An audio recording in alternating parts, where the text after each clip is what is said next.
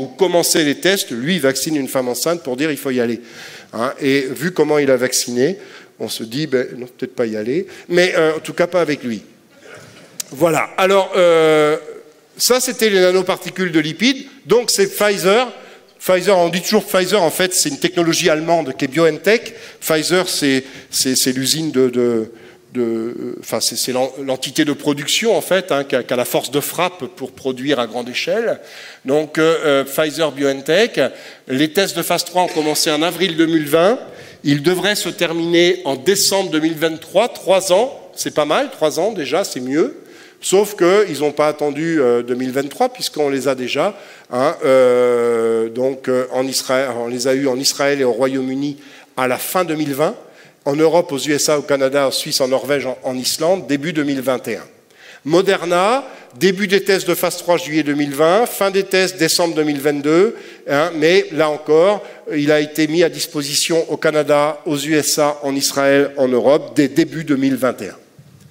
Et puis vous avez un autre qui n'est pas encore mis sur le marché, qui est un, vaccin allemand, CureVac, même technologie, euh, test de phase 3 qui ont commencé précisément le 14 décembre 2020, qui, qui, normalement se sont terminés en avril 2022, mais avec des perspectives de mise sur le marché qui ne sont pas encore connues. Et puis vous avez le deuxième type de vaccin génétique, c'est les vaccins euh, euh, où on utilise comme transporteur du matériel génétique un virus. Alors ce virus qu'on a utilisé, ça c'est les vaccins, vous savez, d'AstraZeneca et de Johnson Johnson, hein, donc Jensen. Eh bien, euh, le virus euh, utilisé pour véhiculer euh, le matériel génétique vaccinal est un adénovirus. Cet adénovirus, vous savez, adénovirus qui sont responsables de, je disais, de nos petits états grippaux l'hiver. Hein, c'est pas la grippe, mais bon, voilà, on a le nez qui coule, un peu de fièvre, etc. C'est souvent un adénovirus. Eh bien, cet adénovirus a de l'ADN, c'est un virus à ADN. Mon ADN, jusqu'à présent, je l'ai représenté en marron. Là, je l'ai représenté en vert parce que j'ai besoin du marron dans un instant. D'accord? Vous allez comprendre. Donc, c'est virus à ADN. Alors, euh, AstraZeneca a utilisé un adénovirus de chimpanzé et euh, Johnson Johnson ont utilisé un adénovirus humain. Alors, cet adénovirus, même si ce n'est pas un virus très méchant, le but, c'est quand même pas qu'il donne la maladie dont il est responsable. Et je vous ai dit, on ne peut pas l'inactiver, parce que si on l'inactive, il perd sa faculté à injecter son matériel génétique, on sait justement ce qu'on veut qu'il fasse. Alors on va le désarmer. Le désarmer, c'est-à-dire le rendre non virulent, sans le tuer. Comment on le désarme?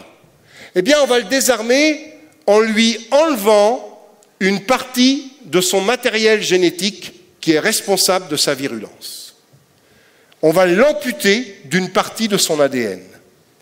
Et cet ADN qu'on a enlevé, on va le remplacer par de l'ADN qui permet de fabriquer la protéine spike du virus SARS-CoV-2.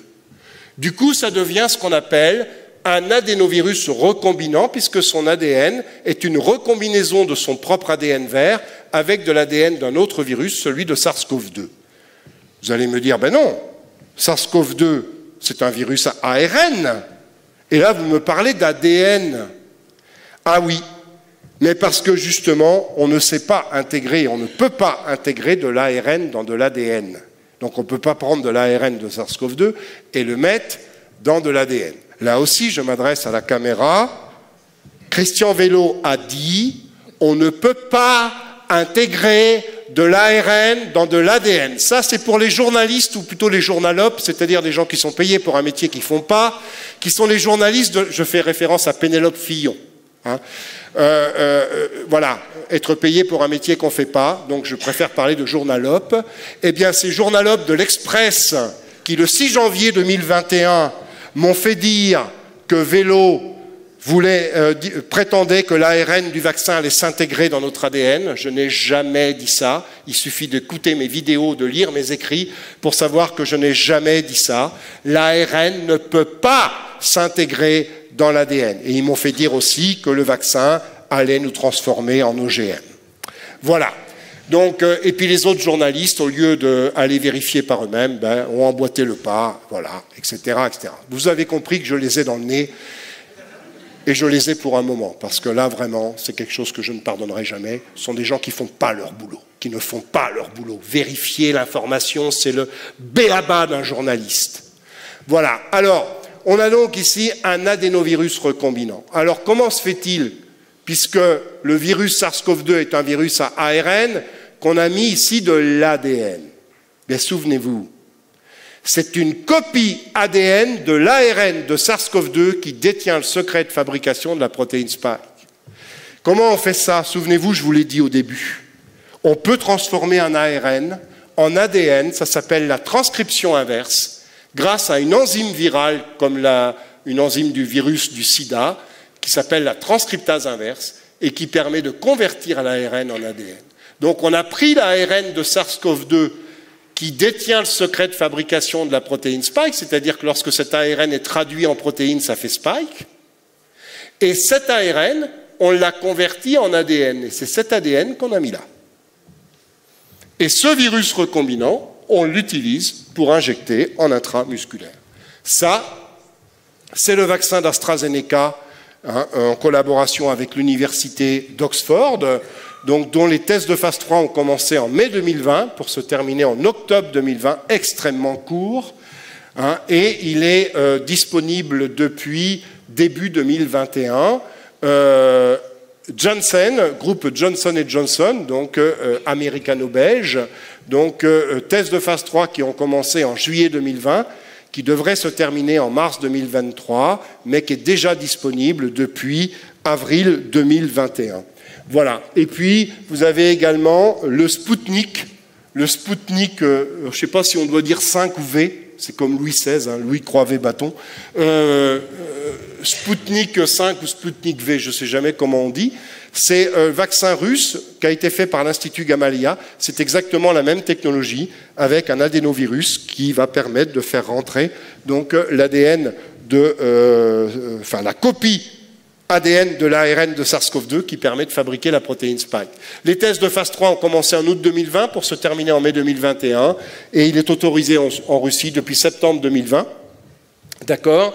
Et il a été candidat pour l'Europe en janvier 2021. Alors inutile de vous dire maintenant que vu les contextes géopolitiques, c'est même pas la peine, mais euh, bien avant la guerre en Ukraine, il se trouve qu'on n'avait pas de nouvelles de ce de cette demande d'autorisation auprès de l'Agence européenne du médicament, alors que euh, voilà, euh, ça faisait euh, des mois qui. Et, alors il y a peut-être de bonnes raisons, hein, mais en tout cas, on n'était pas informé. Voilà. Et j'en arrive au dernier volet de mon intervention. Donc, et là, je vais, je vais remettre mon costume de complotiste.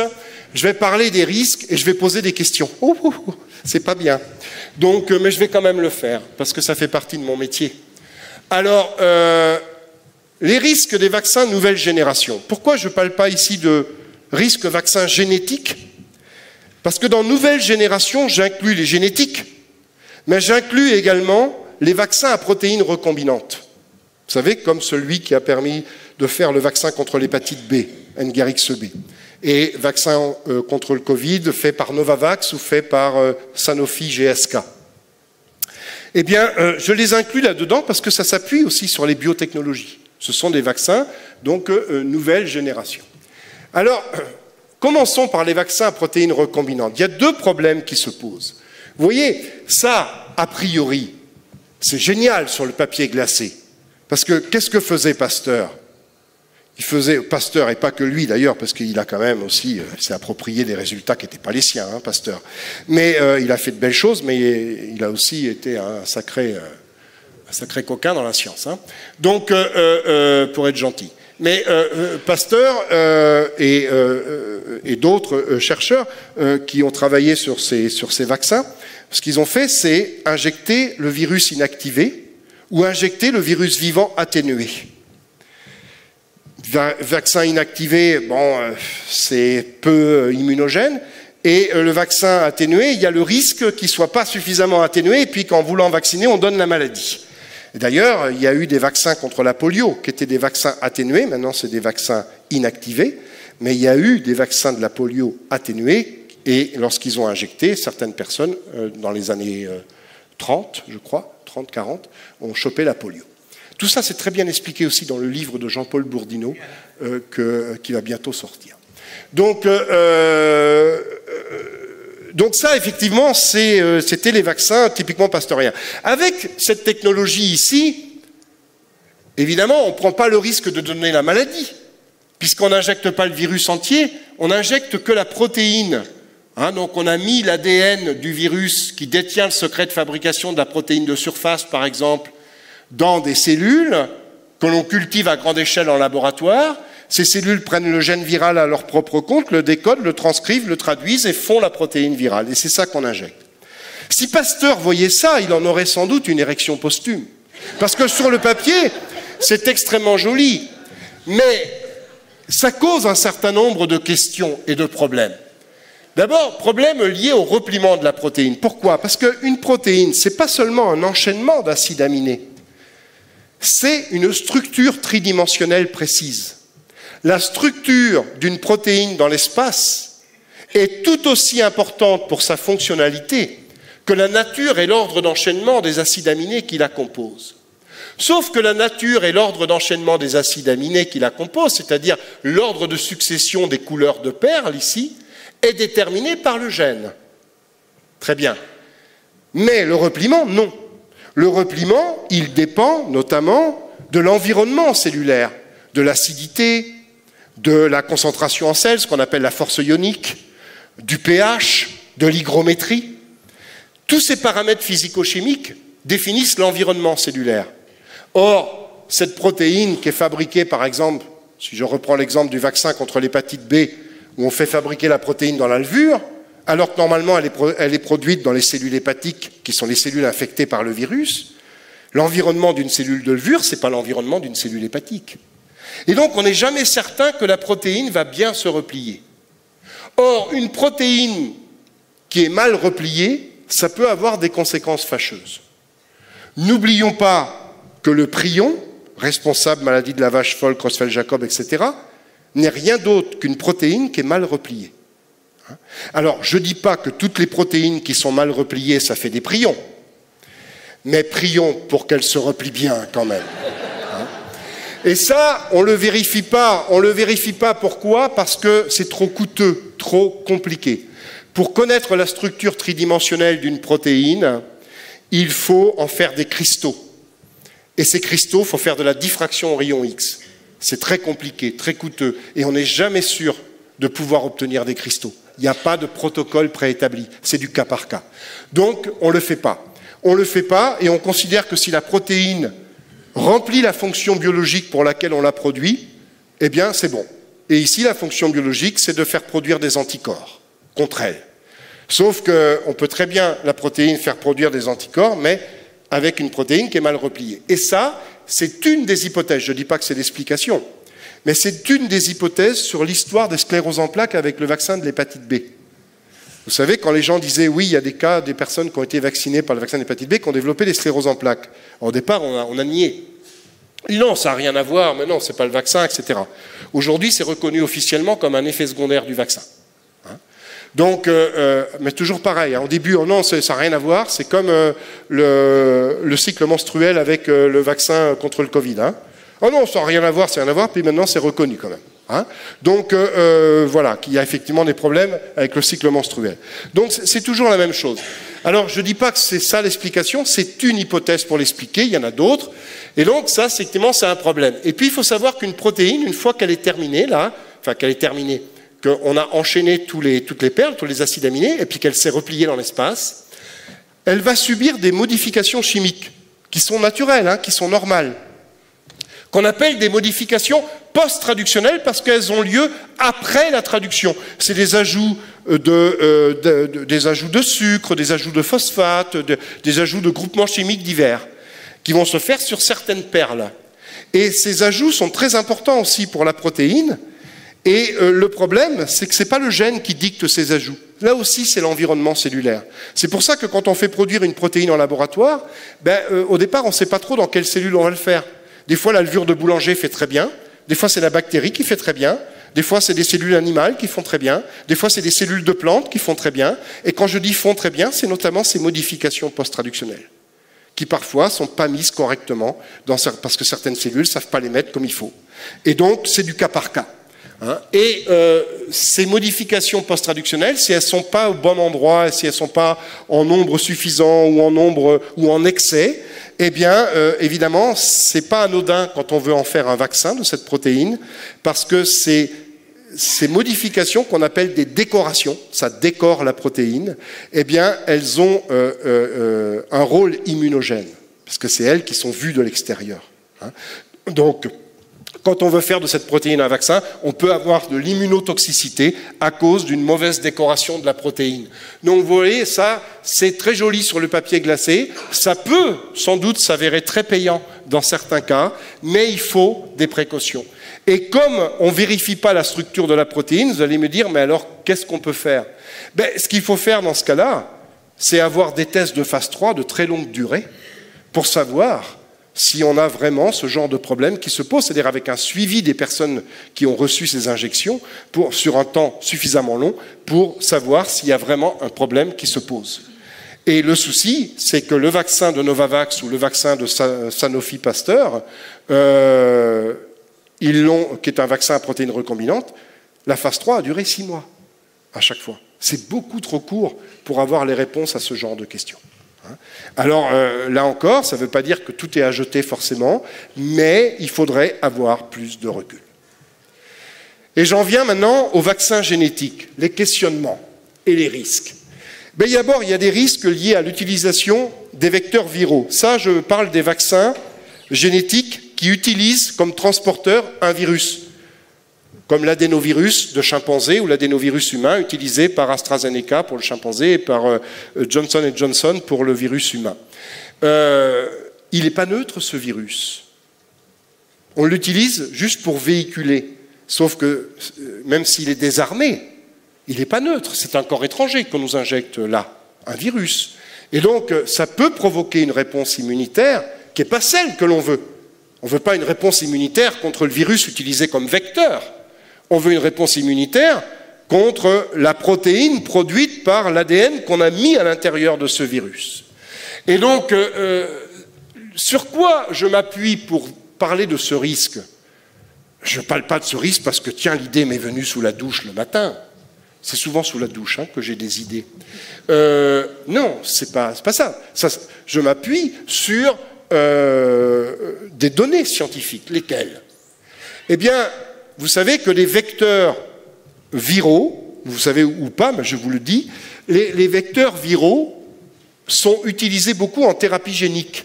Qu'est-ce qu'on fait en thérapie génique? On a un enfant qui a un gène abîmé et on essaie de le réparer en lui apportant la version du gène normal. Donc là, ce n'est pas un gène étranger qu'on introduit chez l'enfant, c'est un gène humain qu'on introduit chez un humain. D'accord? Mais pour introduire cet ADN, il faut néanmoins un véhicule. Et le véhicule utilisé, c'est un vecteur viral, c'est un virus désarmé. Et il y a eu des essais de thérapie génique, un essai notamment en 2002 sur 18 enfants, dont un euh, euh, est décédé à cause d'une euh, réaction immunitaire exacerbée, systémique, euh, contre le virus utilisé comme vecteur. Alors, quand je dis ça, on me fait dire, ah oui, vélo, dire qu'il y a un enfant sur deux, une personne sur 18 qui va mourir du vaccin. Non, évidemment. D'abord, ce n'était pas le même vecteur utilisé, ce n'était pas le même virus. Euh, on, était on est dans un autre contexte. Euh, donc, et puis 18, ce n'est pas un effectif suffisant pour faire des statistiques.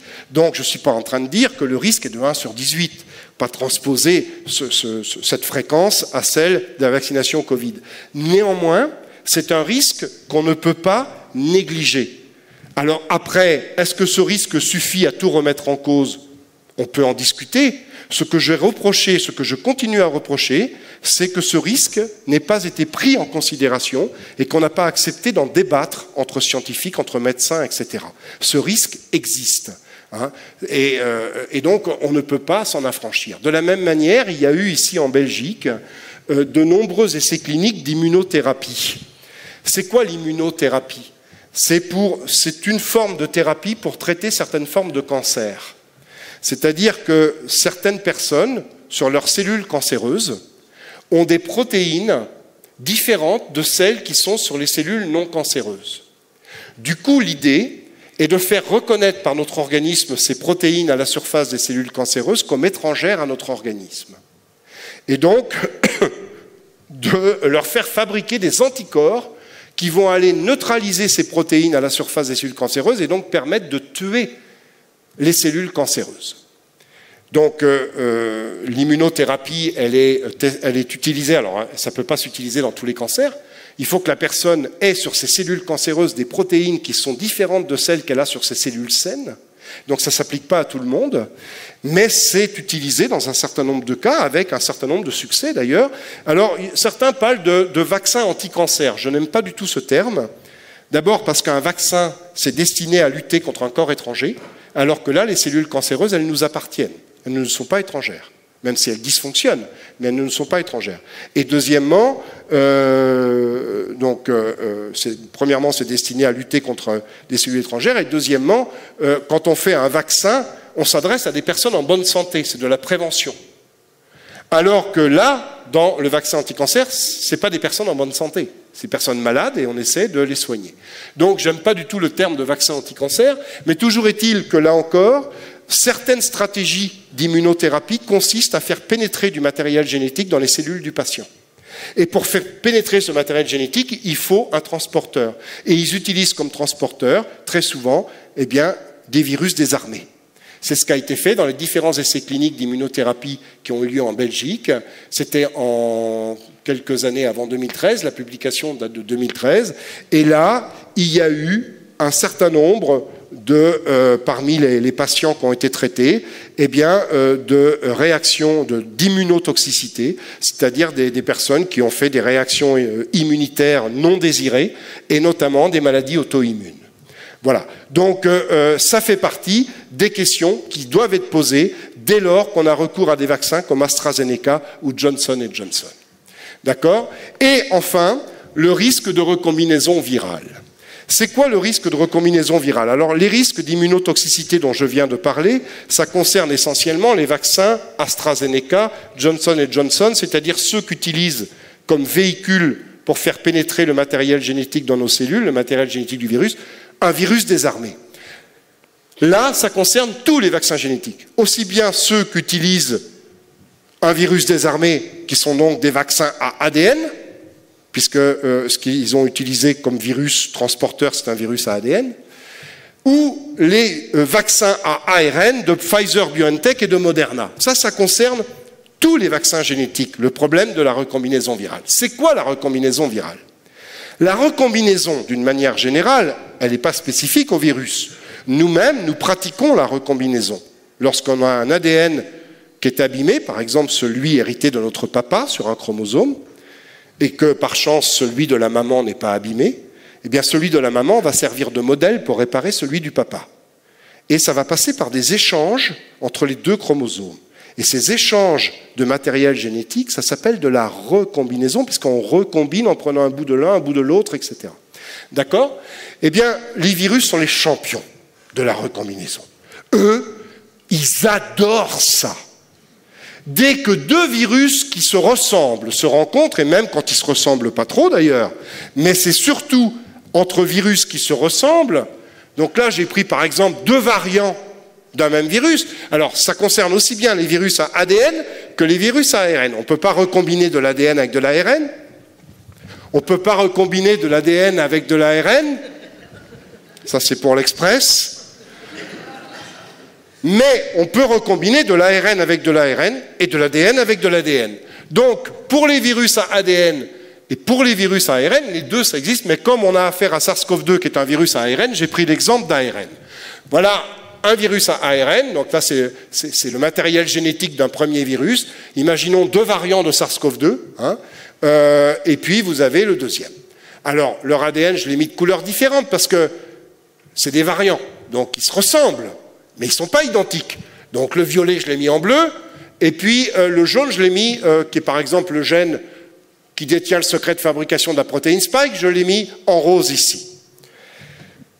Eh bien, si ces deux virus se retrouvent dans la même cellule, au moment où le matériel génétique va être recopié, par une enzyme virale, parce que le virus fournit l'enzyme virale qui va permettre de recopier son matériel génétique à l'intérieur de la cellule infectée. Mais cette enzyme, elle va sauter d'un virus à l'autre, d'un génome à l'autre. Et donc, elle va échanger des bouts. Et par exemple, ici, elle va échanger un bout jaune avec un bout rose. Et ça va donner ça. Virus recombinant, virus recombinant. Voilà, c'est-à-dire qu'ici, on a ce qu'on appelle, au niveau de l'endroit où s'est fait la recombinaison, un gène mosaïque. Il était tout jaune, il est jaune en partie et rose en partie. Il était tout rose, il est rose en partie et jaune en partie. Eh bien, évidemment, ça, ça fait des nouveaux variants. D'accord? Cette recombinaison. Et donc, euh, euh, pour que ça se produise, il faut que les deux virus se retrouvent en même temps chez le même personne. Évidemment, c'est peu probable. Et heureusement pour nous. Oui, c'est peu probable. Ça arrive, mais c'est peu probable. Pareil, ça arrive. H1N1, c'était un double recombinant. Virus de la grippe aviaire, virus de la grippe humaine, virus de la grippe porcine. Hein Donc ça arrive. Mais c'est rare, heureusement. Sauf que quand vous vaccinez massivement, à grande échelle, avec un vaccin qui consiste à apporter de l'ARN, je parle du vaccin Pfizer ou Moderna, ou même le vaccin AstraZeneca, ou le vaccin Johnson Johnson, eux, c'est de l'ADN. Mais cet ADN, une fois dans la cellule, il va être transcrit en ARN. Donc on va se retrouver avec de l'ARN. Eh bien, si on introduit directement ou indirectement de l'ARN vaccinal dans la cellule, qui par exemple correspond ici à la portion d'ARN de SARS-CoV-2 qui détient le secret de fabrication de la protéine Spike. Et si la personne qui se fait vacciner est elle-même porteuse d'un variant, d'accord? Eh bien, qu'est-ce qui va se passer? Ben, recombinaison. Et à ce moment-là, vous n'allez pas avoir deux virus recombinants, mais un virus recombinant. Et vous voyez, ça, c'est un risque qui n'a pas été pris en considération. Parce que pour le prendre en considération, il aurait suffi déjà de faire quoi? Bien, avant de se faire vacciner, faire un test pour savoir si on n'est pas porteur du virus. Il y a certainement des gens qui ont été vaccinés dans la salle. Vous avez eu un test avant? Je suis sûr que non. Il n'y a pas de test avant. Alors c'était facile à faire dans les vaccinodromes. Poste 1, test. Poste 2, vaccination. Poste 1, test. Négatif, vous allez à la vaccination. Poste 1, test. Positif, vous reviendrez plus tard vous faire vacciner. Ne serait-ce que ça, on ne l'a pas fait. Parce qu'effectivement, il y a. Alors, monsieur, euh, monsieur vaccin du gouvernement français, euh, Fischer, ouais, c'est vrai, j'évite de surcharger ma mémoire. Euh, euh Fischer euh, avait dit Ouais, mais ce que dit Vélo, c'est pas possible parce que l'ARN ne peut pas être converti, cet ARN-là, en ADN, parce que ce n'est pas un rétrovirus. Qu'est-ce que dit Fischer? Qu'est-ce qu'il laisse supposer? Que pour que la recombinaison ait lieu, il faudrait qu'on ait de l'ADN Et que euh, euh, la recombinaison ne pourrait pas se faire entre molécules d'ARN Vous savez quand est-ce que ça a été démontré, la recombinaison virale entre molécules d'ARN, entre virus et ARN 1960, 63, 66, virus de la polio, virus de la grippe, d'autres virus encore. Euh, et avec les coronavirus, fin des années 80, début des années 90. Soit M. Fischer ne le sait pas, et c'est grave, soit il le sait et il ment, et c'est grave. Voilà, mais vous voyez, ça, c'est pas honnête. On peut débattre de dire oui, ça, peut se produire, quels sont les risques, etc. Mais dire non, ça n'existe pas, pour rassurer tout le monde, hein, parce qu'il y avait beaucoup de médecins de la PHP qui étaient tombés sur mon rapport. Du coup, ça leur faisait peur. Il leur a dit mais non, non, ce que dit Vélo, et donc il est allé du sien. Et, j'ai voulu, euh, à un moment donné, je voulais débattre avec M. Fischer. Bien sûr, non, on débat pas. Hein, on débat pas. Donc, euh, euh, ça, ce sera intéressant. On se met autour de la table et on discute. Donc voilà. Alors, les coronavirus, ce sont, je disais que les virus, c'est les champions de la recombinaison, mais les coronavirus, c'est les champions des champions. C'est-à-dire que si vous mettez deux virus de la polio, deux virus ARN euh, ensemble, ou euh, deux virus euh, de la grippe, etc., le taux de recombinaison, dès lors qu'ils sont ensemble, ça va maximum à 2%. Avec les coronavirus, minimum 10%. Alors évidemment, il faut qu'ils soient ensemble. Vous allez me dire, oui, mais alors il faut imaginer que la personne qui se fait vacciner, elle est contaminée par les, dans les mêmes cellules par le virus. Or, le virus, il a plutôt tendance à infecter les cellules pulmonaires. Et nous, on injecte dans le muscle. Donc la probabilité que l'ARN vaccinal et le virus se rencontrent, virus infectant, est faible, vraiment très faible.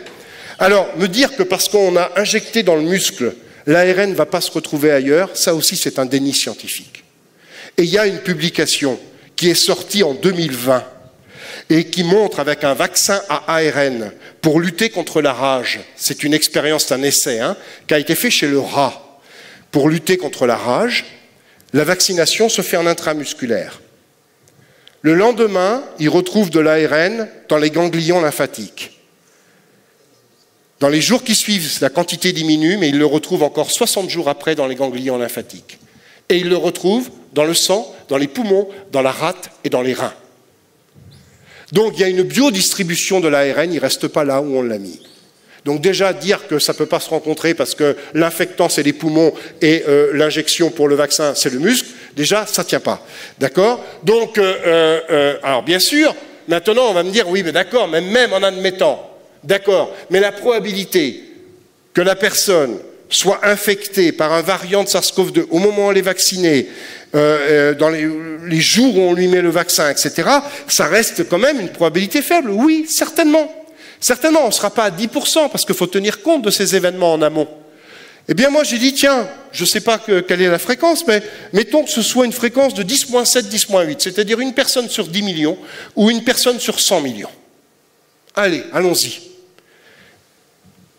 Eh il y a quelqu'un qui m'a dit oui, ben alors ce que tu dis, ça a autant de chances de se produire que quelqu'un qui joue au loto de gagner.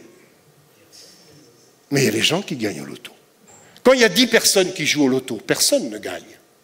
Mais quand il y a des millions de personnes qui jouent au loto, de temps en temps, il y a un gagnant.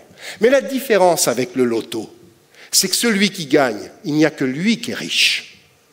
Là, celui qui va gagner la recombinaison, il va la partager. Parce que le virus recombinant, s'il est moins méchant que le virus de départ, très bien, mais s'il est plus méchant, ben ça veut dire qu'il va passer à travers les anticorps, qu'il va passer, qu'il va surmonter la vaccination, et donc qu'il va aller contaminer d'autres personnes. Et c'est pour ça que ce risque ne doit pas être considéré à l'échelle individuelle, mais à l'échelle collective. Vous voyez, quand il y a eu les cas de thrombose, on nous a dit, là on a su parler de collectif.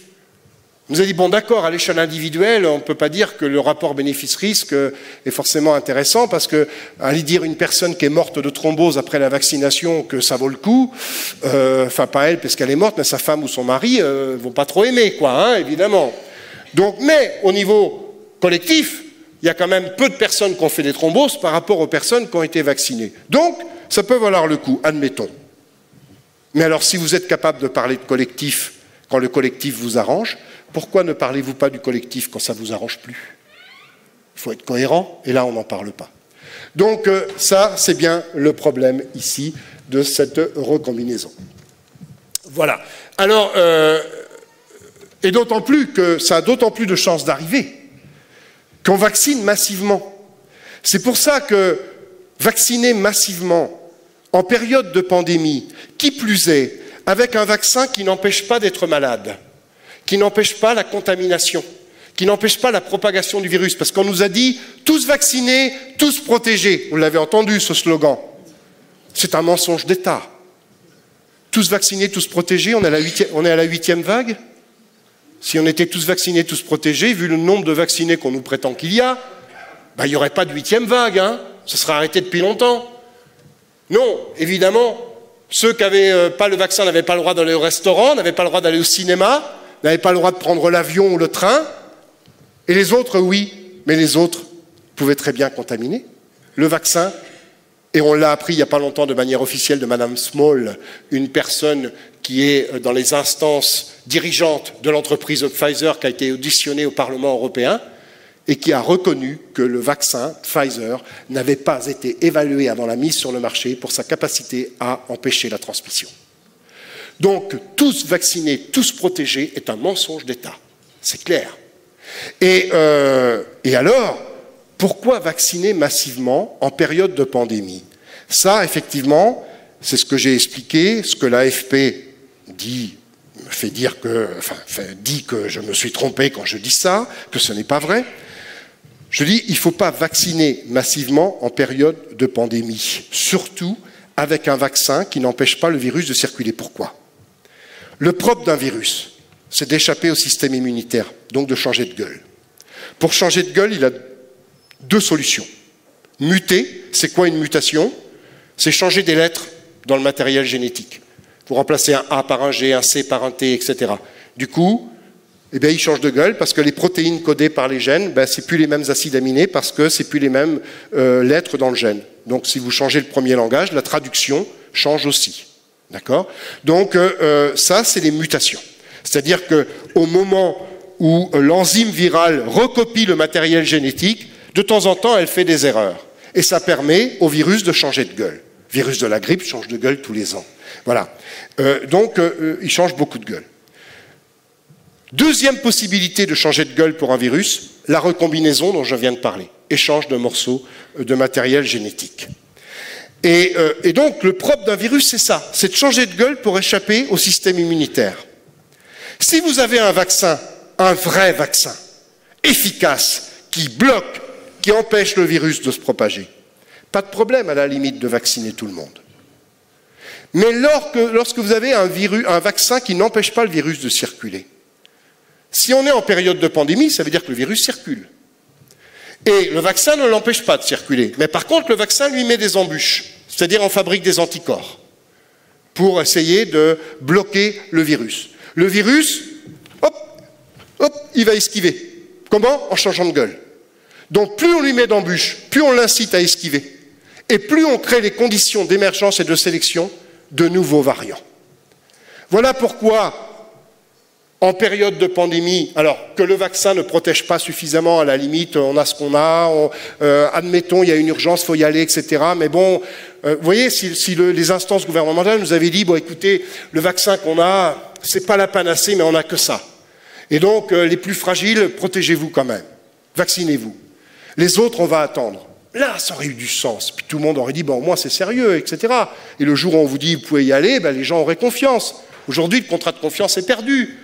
On nous a dit, tous vaccinés, tous protégés, il faut tous se vacciner, alors que les enfants, les jeunes, la probabilité de faire une forme grave, elle est quasiment nulle, mais quasiment nulle.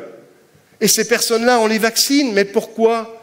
Justement, puisque le vaccin n'empêche pas la circulation du virus, et qu'on peut créer avec ce vaccin des conditions d'émergence de nouveaux variants. S'ils sont moins méchants, tant mieux, mais le jour où on aura un variant plus méchant, ben, euh, il sera trop tard.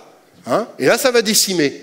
Donc, euh, limitons les dégâts en limitant le nombre de personnes vaccinées.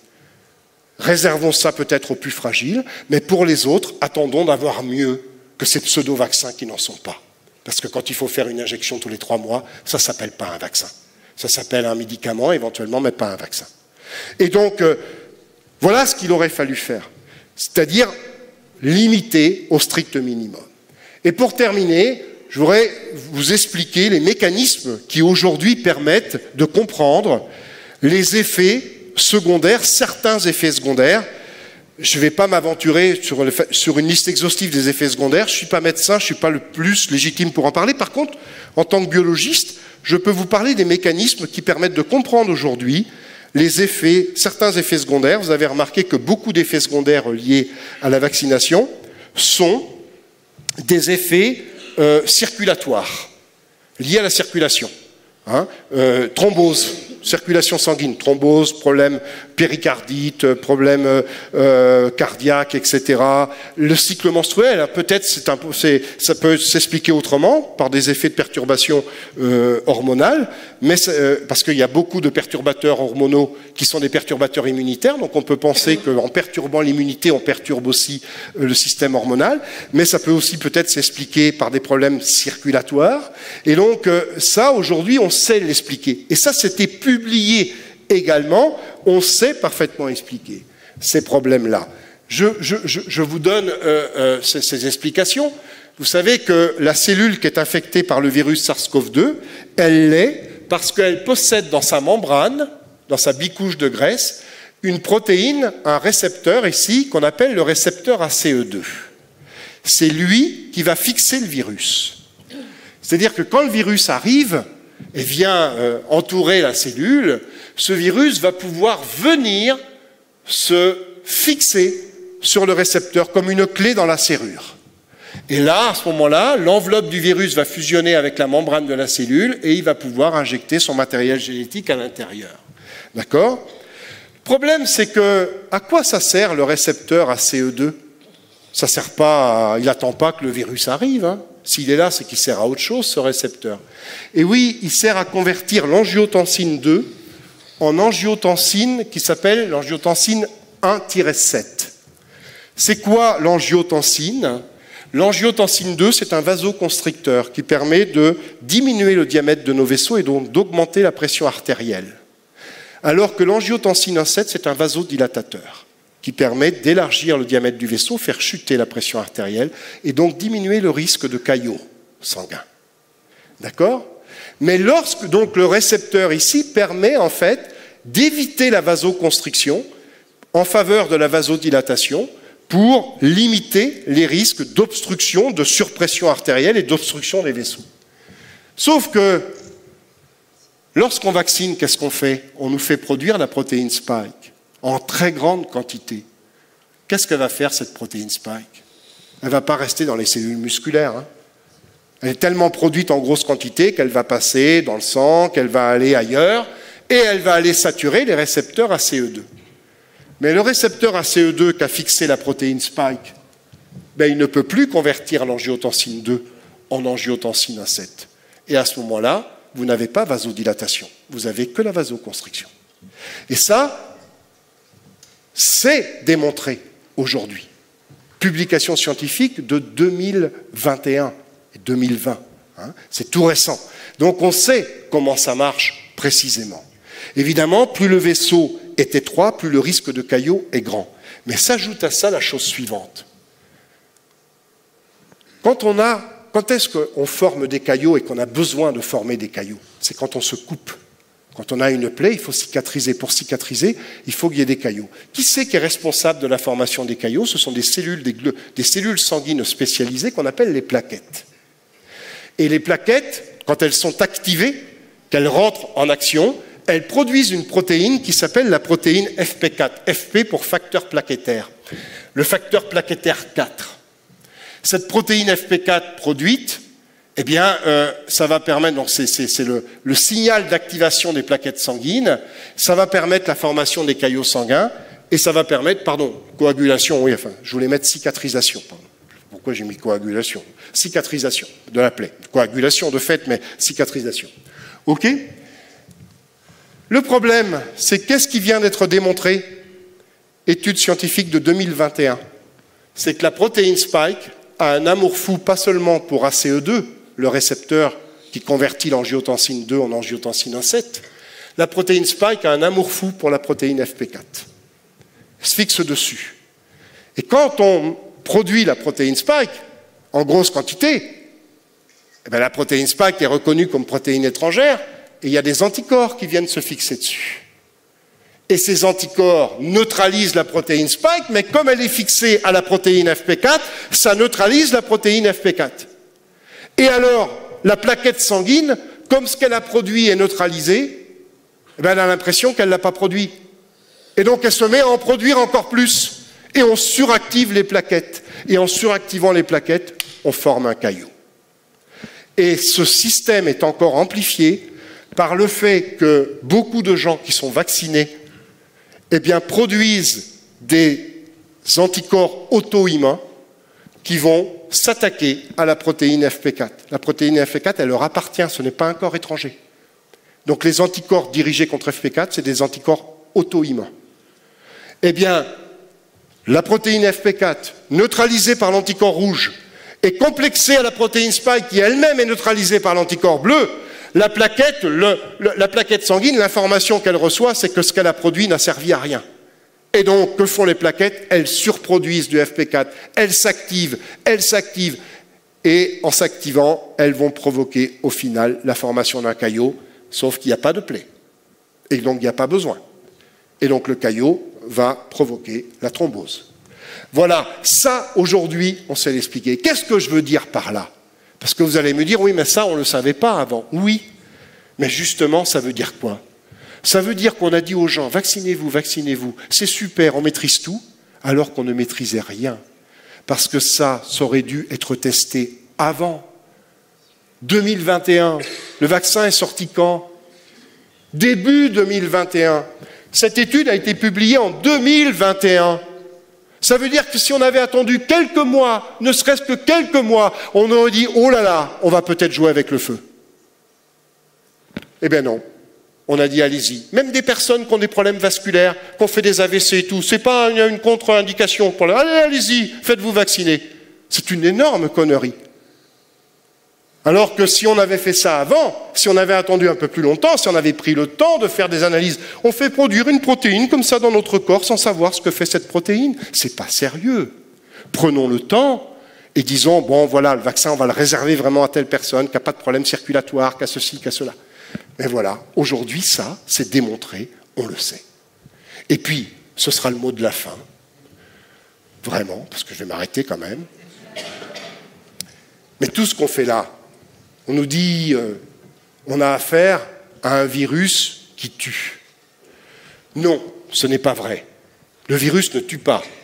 Bien sûr, je ne suis pas en train de faire un affront aux personnes qui sont mortes du Covid. Évidemment, il y a eu des morts. Et un mort est toujours un mort de trop. Sauf que ces personnes ne sont pas mortes du virus. Pour la plupart d'entre elles, hein, parce qu'il y a eu des cas de gens bien portants qui ont été euh, sévèrement atteints par le virus. Je pense que d'ailleurs j'en fais partie, puisque j'ai fait une forme sévère alors que rien ne prédisposait, a priori. Euh, J'avais pas de comorbidité, comme on dit. Hein. Mais euh, la plupart des gens qui ont fait des formes graves et qui en sont décédés sont des personnes qui étaient obèses, qui avaient des problèmes, euh, d'autres problèmes de santé, donc des comorbidités.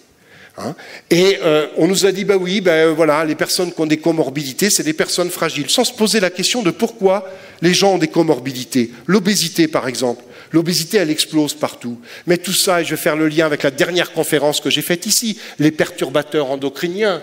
On sait que tous ces problèmes d'explosion de cancer, de la vessie, de la prostate, du sein, du côlon, tout ça, ça ne peut pas s'expliquer par la génétique, ça ne peut pas s'expliquer par une infection. On sait qu'à l'origine, ce sont des pollutions environnementales, notamment les perturbateurs endocriniens. L'obésité, on sait que la, cause principale, c'est les perturbateurs endocriniens. Donc si on a des comorbidités, on sait d'où ça vient. Et donc, ces personnes qui sont victimes du Covid, c'est parce qu'elles sont victimes d'une autre pandémie silencieuse, qui est les maladies chroniques, qui sont des maladies environnementales. L'OMS avait alerté dès 2008 sur ces maladies chroniques. C'était 63% des décès dans le monde en 2008, ça représentait 36 millions de morts en 2008, dont 29% avaient moins de 60 ans, dès 2008, et ça ne s'est pas arrangé depuis. Et donc moi j'ai eu la naïveté de croire que la pandémie Covid allait être un mal pour un bien, parce qu'on allait enfin comprendre que le problème c'est d'avoir des gens en bonne santé, parce que si on est en bonne santé, on est mieux armé pour faire face à une bactérie ou un virus. Et des bactéries, des virus, on en aura d'autres. Des pandémies, il y en aura d'autres, parce qu'on n'a rien changé dans notre manière de faire. On concentre les humains, on continue à les concentrer dans les métropoles, etc. Les animaux d'élevage intensif, on continue. Et ça, c'est source de pandémie. Si vous n'avez pas lu le livre de Marie-Monique Robin, euh, La fabrique des pandémies, eh bien, vous y, découvrirez juste, vous y découvrirez justement la manière dont se fabriquent les pandémies avec ces pratiques d'élevage intensif, etc., etc. Et on n'a rien changé dans notre manière de faire. On n'en a tiré aucune leçon. Donc, on va continuer à avoir des pandémies. On va continuer à avoir des pandémies. Et on va euh, rien faire de mieux, puisque si on ne prend pas le problème à bras-le-corps de la santé des populations, que ce soit le Covid ou un autre virus, on aura des morts et des morts, et tout ça n'aura servi à rien. Donc s'intéresser au Covid sans prendre en compte le problème de la santé environnementale dans sa globalité, c'est pisser dans un violon ou c'est balayer du sable en pleine tempête. Ça ne sert à rien. Voilà. Et donc, ben, continuons à pisser dans un violon. euh, ou alors essayons de discuter pour tirer profit de cette pandémie pour que nos erreurs ne se reproduisent pas. Je vous remercie.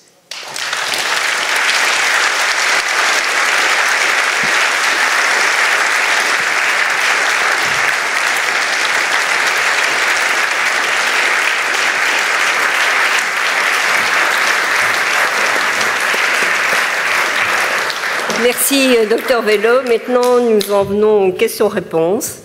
Euh, nos bénévoles vont passer auprès de vous, euh, vous déposer, déposer les, vous donner des feuillets pour y inscrire vos questions et nous les releverons pour pendant la pause. Oui, on peut les relever ici, oui. Et je voudrais aussi, en attendant, vous parler des deux laboratoires que vous verrez devant la salle.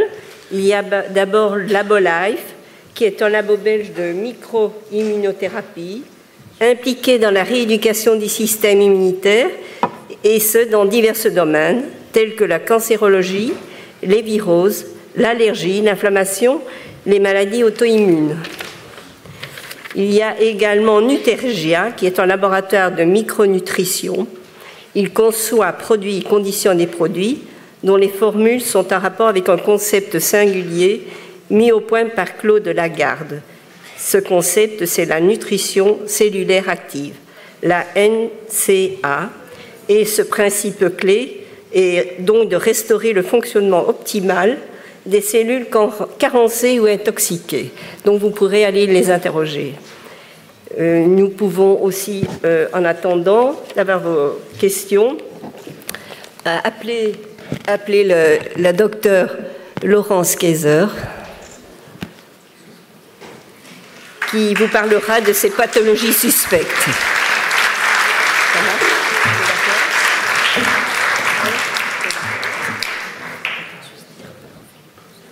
Oui, nous allons faire une pause d'un quart d'heure pour relever vos questions.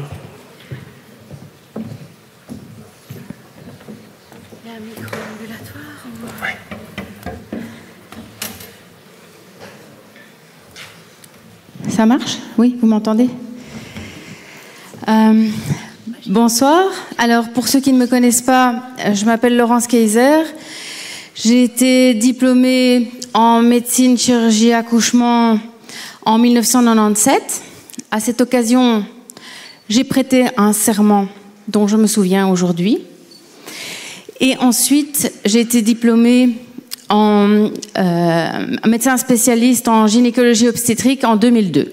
Donc ça fait juste 20 ans que j'exerce euh, ma profession. Alors, euh, je, partage avec le professeur Vélo ben, le plaisir d'être avec vous ce soir, bien sûr. Je remercie d'ailleurs l'association au sein des femmes et Nelly Chapelle, et je vous remercie tous d'être ici. Merci à Kéros également. Euh, je partage aussi avec le docteur Vélo euh, le, grand privilège d'être qualifié de médecin anti-vax, complotiste, et j'ai même entendu dire que je devais être d'extrême droite parce que j'avais ces opinions-là. Donc la prudence et le questionnement aujourd'hui sont, euh, sont rangés dans la catégorie ne pas écouter. aujourd'hui, vous avez des médecins ultra spécialisés. Je vais parler pour ma branche puisque c'est celle que je connais le mieux. Vous avez donc euh, des spécialistes en scénologie, vous avez des spécialistes en fertilité, vous avez des spécialistes en endométriose, en ménopause, en, euh, en cancérologie, euh, et, et, chacun, euh, chacun va faire de son mieux dans sa partie. Et vous allez donc avoir euh, euh, un médecin qui est capable de, vous, de vous enlever avec brio euh, un petit morceau de colle sans, sans se demander si vous souhaitez faire un bébé et euh, d'autres médecins qui vont vous donner plein de traitements pour faire une fécondation in vitro en oubliant que peut-être il serait bon de vérifier que vous n'avez pas un facteur de risque de cancer du sein et j'ai des cas malheureux dans ma patientèle évidemment pour tout ça. Euh, mais moi je fais encore partie de cette génération qui a appris que la personne humaine est un tout et que euh, il est, euh, est bien utile de s'en souvenir pour pouvoir faire ce qu'on appelle un diagnostic. Donc moi, je ne suis ni une chercheuse, ni une grande scientifique, je n'ai rien publié, mais je suis un médecin de terrain. Je suis proche de mes patientes, je les écoute, je les regarde et je les connais. Et comme ça fait 20 ans, j'ai même quelques générations maintenant. À partir du moment où les personnes ont commencé à euh, recevoir ces injections, j'ai constaté des choses qui changeaient. Aucune pathologie n'est apparue, c'est pas quelque chose de nouveau. Par contre, c'est la fréquence des pathologies que je connaissais qui a explosé. Et c'est aussi l'aspect de certains problèmes. Je m'explique. Les cancers du sein, plus fréquents chez des femmes plus jeunes, plus agressifs, répondant mal au traitement. Ça n'est pas habituel. Des fibromes qui grossissent à une telle vitesse qu'ils deviennent partiellement liquides parce qu'ils sont mal vascularisés, ils se nécrosent au milieu, ça donne des images que moi je voyais dans les bouquins qui parlaient de, de patientes africaines, de pays en voie de développement dans, les années 50-60, euh, les débuts de l'échographie, là, euh, on, voyait, on voyait des images comme ça un peu bizarres. Maintenant, je vois ça en 2022 sur mes patientes. J'ai des endométrioses qui apparaissent chez des femmes qui n'avaient rien il y a 4-5 mois. C'est pas normal. Euh, j'ai des femmes ménopausées qui ressaignent. Et j'ai même une consoeur qui était capable de dire que c'est parce que les ovaires, ça retravaille. C'est fréquent que ça retravaille à 60 ans passés.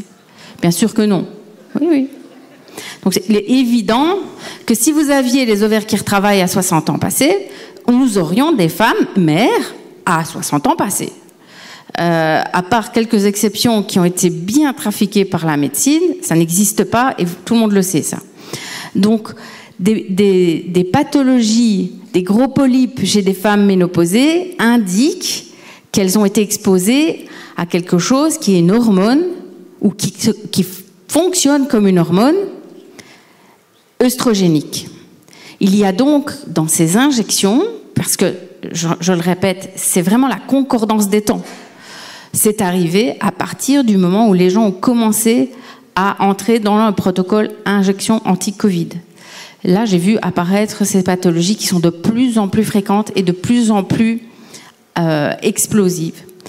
Donc, euh, il y a dans ces injections quelque chose qui fait qu'il y a, y a des perturbateurs endocriniens. Et qu'est-ce que ça donne sur les jeunes filles? Ben, Ça donne des troubles du cycle. Ça donne, c'est quoi un trouble du cycle? Ben, Ça peut être disparition complète des règles. Alors on peut dire que ce pas très grave, tant mieux pour elle.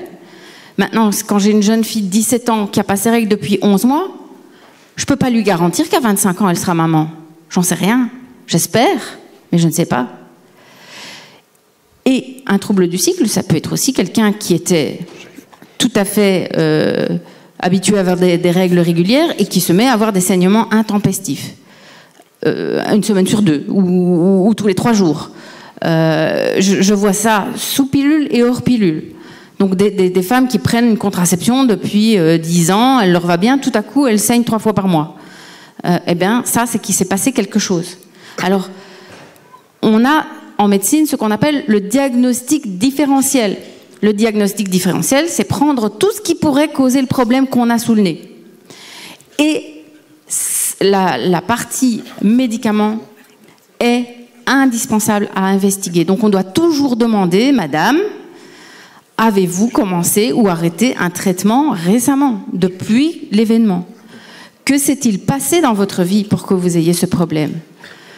Ça, c'est essentiel. Un médecin qui refuse de faire ça et qui ne vous demande pas, mais avez-vous pris un traitement? Avez-vous reçu une injection?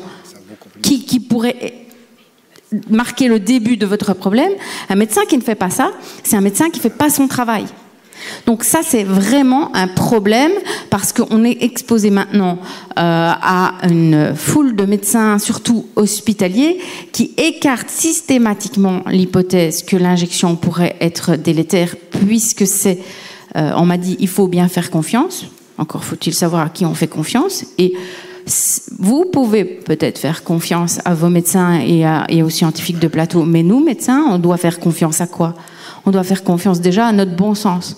On apprend molécule par molécule toute la pharmacopée pendant nos études. On sait exactement à quoi sert une molécule, où elle va, combien de temps elle reste dans le corps, par quel organe elle est éliminée, quelles sont les interactions qu'elle peut avoir avec d'autres molécules et quels sont les effets secondaires qu'elles peuvent avoir? Il n'est pas normal qu'ici, un médecin soit capable de vous dire aujourd'hui, moi je fais confiance, je ne sais pas ce qu'il y a dedans, je ne sais pas ce qu'il y a dedans cette injection, je n'ai pas la composition, je n'ai pas la notice, mais ça n'a sûrement pas d'effet secondaire. C'est pas normal. Après, si on a obtenu toutes ces informations, là, on peut commencer à discuter.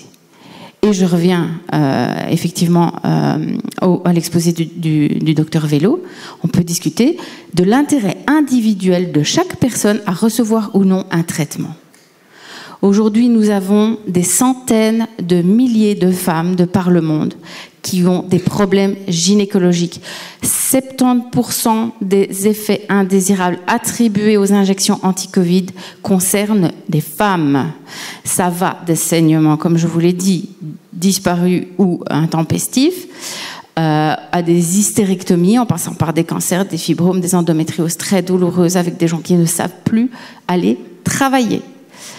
Donc, ces femmes, on ne peut pas on ne peut pas leur fermer la porte, on ne peut pas se boucher les oreilles devant tous ces cris. Alors ici, euh, le collectif Où est mon cycle, qui a été créé par une jeune française, euh, Mélodie Ferron, euh, est, donc ce, collectif regroupe à peu près 18 000 personnes maintenant, c'est quand même très conséquent. Euh, et, ce, et, ce, collectif a décidé de proposer un, un outil euh, d'information sous forme de livre c'est un, un, outil qui, un livre qui reprend les témoignages et, euh, dedans, ben, voilà, j'ai expliqué un petit peu comment comment nous fonctionnons au niveau de notre de notre physiologie. Et Maître Diane Prota a mis un petit mot sur euh, le, le, le côté légal, l'aspect légal euh, de, de la la souveraineté du corps, puisqu'on ne peut pas normalement nous injecter euh, des produits, nous administrer des traitements euh, sans notre accord. Donc ce livre est présenté sous forme d'un outil à apporter éventuellement en discussion euh, auprès des, des enseignants, auprès des pharmaciens, auprès des médecins, parce qu'il y a vraiment ici une prise de conscience qui doit se faire absolument. Et c'est en vente en, en sortant. Voilà. Donc, euh, je vous remercie beaucoup. Et euh, je vous souhaite une bonne soirée.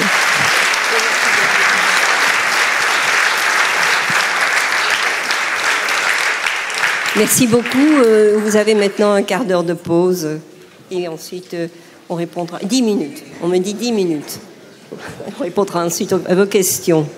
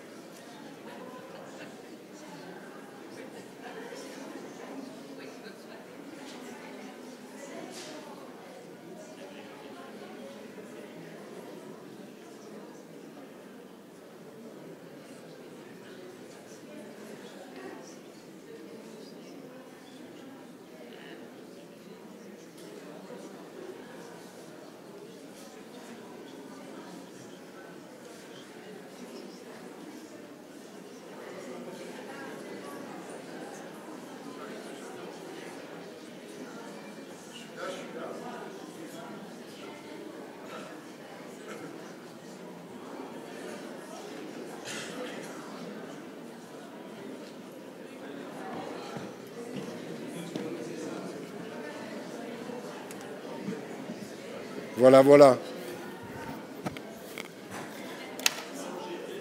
Oui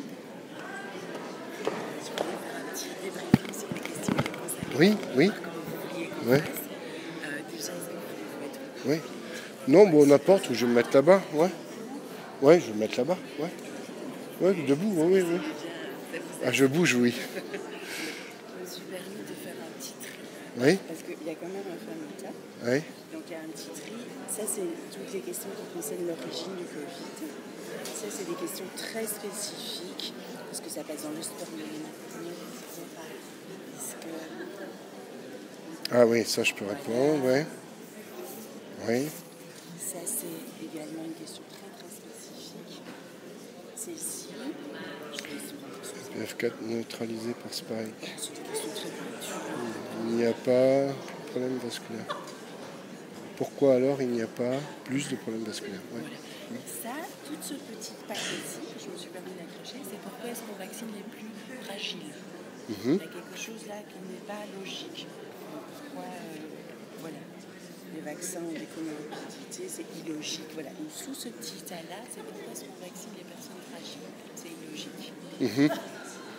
Je continue. Ce petit tas-ci, ce petit tas-ci, euh, on est vraiment dans des choses phase 3, mise sur le marché, européenne. Pourquoi est-ce qu'il y a eu cette précipitation? Donc là, on est plus sur quelque chose de, j'allais dire, de, de politique. D'accord. Voilà. Euh, c'est vraiment la même chose. hein. Que les instances européennes qui décident. D'accord. Si vous voulez jeter un petit coup d'œil. En Élie, j'ai déjà deux fois. Attends, je vais, je vais. Intervention de la nature marine. Quelle est la différence La différence entre l'intervention de la nature. Ah oui. Ouais, d'accord. Ouais. Et alors, le dernier, moi j'ai trouvé ça très mignon, comme pour conclure, pourquoi ne pas travailler l'immunité naturelle. Et tout ça, c'est des choses qui ont déjà été euh, abordées dans les autres questions. D'accord. Donc ça, on oublie alors ça? C'est ça. Je... Et voilà. Donc ça, c'était l'origine du Covid, c'est quelque chose qui est revenu plusieurs fois. Des petites questions spécifiques. Mhm. Pourquoi est-ce qu'on vaccine plus fragiles Et ça, c'est des questions plus politiques. D'accord. Ok, alors je vais. Ouais, oui, oui. Ouais, ben, je vais commencer par celle-là. Oui, c'est bon. Et vous avez 30 minutes. D'accord. Non. Hasard Ouais, je vais voir, je vais essayer, je vais faire les premières là, puis je vais prendre. Ouais. Donc origine, mais je ne sais pas si c'est à mon sens. L'origine du Covid, est-ce que c'est intéressant Est-ce que ça vous intéresse de parler de ça Ouais, on peut en parler, oui, oui. Oui, oui, on peut en parler. Ouais, ouais. Des questions un peu plus pointues, Ouais, plus ouais. spécifiques. On peut trier aussi, voir si elles vous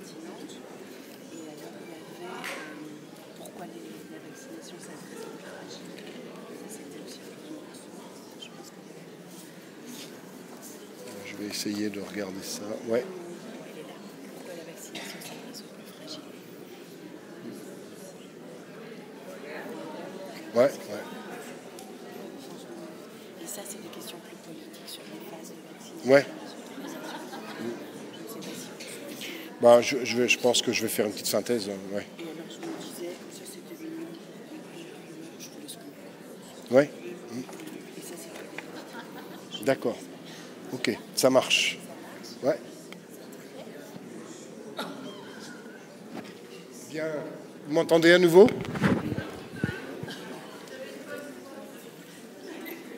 C'est bon Là? Ouais, ok, très bien. Bon, alors, euh, désolé, j'ai été un peu long, donc forcément, pour les questions, du coup, il nous reste moins de temps. Mais je vais quand même essayer. Alors, je ne vous promets pas de répondre à toutes, hein, parce que ça va être compliqué, surtout qu'elles ont été regroupées par thème, et il y en a un certain nombre qui sont redondantes. Euh, D'abord, je voulais juste préciser une chose, c'est qu'on m'a fait remarquer que j'avais cité trois fois mon collègue Jean-Paul Bourdineau sans préciser qui c'était. C'est un professeur d'université, un biologiste, euh, voilà, qui, connaît bien le sujet, euh, tous les aspects euh, scientifiques autour, de, la vaccination de manière générale. Voilà. Hein, donc euh, j'ai oublié de le préciser, je m'en excuse. Ça, va tellement de soi pour moi, mais voilà. évidemment, on ne le connaît pas forcément. Alors, première question. Question sur le problème de euh, FP4 neutralisé par Spike. Alors, euh, la question, on me dit, voilà, le facteur plaquettaire qui est sécrété par les plaquettes, et donc lorsqu'il y a activation des plaquettes, pourquoi alors il n'y a pas plus de problèmes vasculaires? Alors effectivement, ce n'est pas systématique les problèmes vasculaires. Pourquoi? Parce que d'abord, tout le monde ne fait pas d'anticorps auto-immuns contre la protéine FP4 parmi les gens vaccinés. Ça fait partie de... Euh, c'est pas systématique. Ça fait partie des... c'est comme les thromboses. Heureusement, les thromboses, ça n'a pas concerné tous les vaccinés. Ça n'a concerné que certains.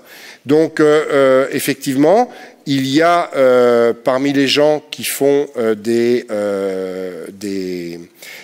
qui, ont des vaccinations et qui produisent la protéine spike. La protéine spike est capable d'interagir avec le facteur FP4, mais il faut que FP4 et la protéine spike se rencontrent. Or, la biodistribution de la protéine spike produite dans les cellules musculaires n'est pas la même en fonction des individus. Donc, euh, chez tous les individus vaccinés, il n'y a pas rencontre systématique de la protéine euh, FP4 et de la protéine spike. Et tout le monde ne fait pas des anticorps, des anticorps auto-immuns. Mais chez les personnes qui ont ces problèmes-là, et notamment les problèmes de thrombose, eh bien, euh, c'est ça qui explique les problèmes de thrombose euh, du fait qu'il a pu être mis en évidence que FP4 est capable d'interagir avec Spike et que euh, certain nombre de, personnes développent des anticorps auto-immuns suite à la vaccination contre la protéine FP4. Donc, effectivement, c'est comme tous les effets secondaires, hein, ils ne sont pas systématiques, mais ça concerne un certain nombre d'individus. Et ce n'est pas parce que ça ne concerne pas beaucoup d'individus que ça ne doit pas être pris en compte. D'autant plus que euh, si une personne a des problèmes vasculaires, des problèmes d'hypertension, etc., il faut prendre ça en considération parce qu'elle est peut-être plus exposée que les autres pour développer ce genre d'effet secondaire. Voilà. Alors ensuite, j'ai une question sur l'ARN. Est-ce que l'ARN est détruit une fois traduit en protéines? Combien de temps vit-elle ou vit-il l'ARN, j'imagine? Euh, Alors, oui, effectivement, ça je ne l'ai pas précisé, mais c'est important. l'ARN euh, va être détruit effectivement, mais en fait il va persister euh, un certain temps euh, dans, les cellules. Pourquoi? Les ARN messagers à nous, les nôtres, ils ont une durée de vie entre une demi-heure et 24 heures. Hein. mais certains ont une demi-vie courte, d'autres ont une demi-vie plus longue qui va jusqu'à 24 heures. plus un ARN est traduit en protéines, plus il a une vie longue. Pourquoi? Parce que le système de traduction le protège. Et donc, ça le protège des attaques, ça le protège de la dégradation. Or, un ARN viral a vocation à être beaucoup traduit. Parce que quand un virus nous infecte, ce n'est pas pour sucer du glaçon, c'est pour se reproduire. Donc, quand il injecte son matériel génétique, c'est pour que ce matériel génétique soit beaucoup traduit. Et donc, ce qui fait qu'un ARN viral, on est plutôt sur 24 heures que sur une demi-heure. Mais l'ARN vaccinal qui est injecté, il a été en plus modifié pour le rendre encore plus stable et pour optimiser sa faculté à être traduit en protéines. Donc euh, l'ARN viral, ça va plutôt être 48, 72, 96 heures. Et éventuellement, il peut euh, euh, eh se biodistribuer dans d'autres cellules que là où on l'a injecté. Voilà. Donc ça, c'est pour la, durée de vie de l'ARN. Mais effectivement, un ARN, une fois qu'il a été traduit en protéines, après, il est dégradé. Donc, euh, il ne va pas rester qu'un jour ou trois semaines, hein, mais il va rester plusieurs jours, parce qu'on a, a augmenté sa stabilité. Euh, alors, euh, sur le passage de la protéine spike dans le lait maternel, etc. Alors ça, moi, ou dans le sperme, euh, je n'ai pas euh, de, données scientifiques précises là-dessus. Maintenant, on ne peut rien exclure dans la mesure où il y a une biodistribution de la protéine qui va être produite en très grande quantité et qui va se retrouver dans d'autres tissus que là où elle a été produite. Maintenant, euh, est-ce qu'on peut la retrouver dans, le sperme ou dans le lait maternel? Moi, aujourd'hui, je ne peux pas affirmer ce genre de choses parce que je n'ai pas d'éléments scientifiques tangibles pour le dire. Hein. Il y a une étude. Ah, bah alors, mais bon, voilà. D'accord. Oui, de toute façon, la biodistribution, euh, la protéine peut aller partout. Hein. Mais euh, voilà, mais j'ignorais cette étude. Bon, je vrai que pas, je ne fais pas forcément une bibliographie exhaustive de tout, hein, surtout qu'il y a beaucoup de choses qui sortent.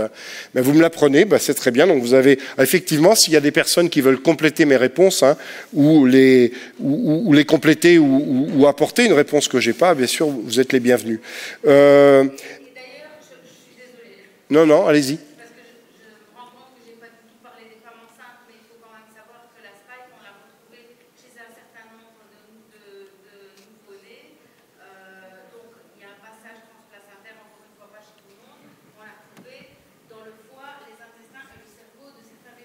D'accord.